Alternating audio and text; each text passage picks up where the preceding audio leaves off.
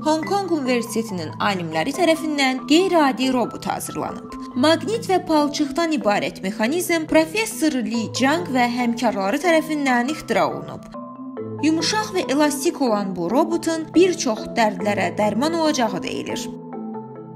Əsas işi isə insan bədəninə daxil olub zərərli ola biləcək maddələrin orqanizmdən atılmasını təmin etməkdir. Axıcı maqnitdən ibarət robot özünə forma verir və istənilən ölçüyə malik olur. İxtira həmçinin orqanizmdə müalicə müddətinə kömək üçün də nəzərdə tutulub. Nigar Abbasova 525-ci kanal